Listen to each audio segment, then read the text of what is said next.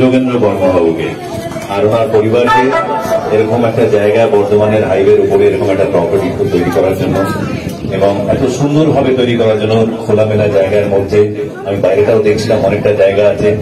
আর ভিতরেও প্রচুর জায়গা, যে রুমটা আমাকে দেওয়া হয়েছে সেটাও খুব সুন্দর দেখতে।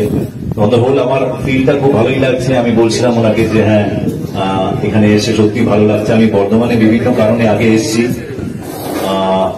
শোজ করার জন্য অনেকবার এসেছি যেখানে নাচ, গান এগুলো হয়েছে।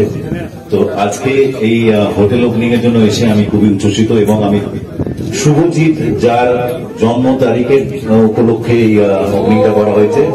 শুভজিতের জন্য শুভেচ্ছা জানাচ্ছি।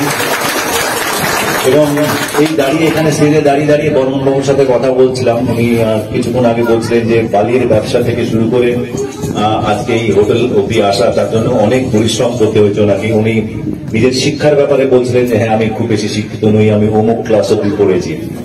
তো সেটার জন্য একটা উত্তর দেওয়া হয়নি, সেটা সকলের সামনেই আপনাকে বলছি বরণবাবু যে অনেকেই ভাবে যে শিক্ষিত মানে বুদ্ধিমান।